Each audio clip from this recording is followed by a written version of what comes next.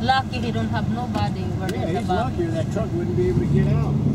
This one's bad design. Stupid woman. Yeah, they shouldn't be, Semi shouldn't be going in there anyway.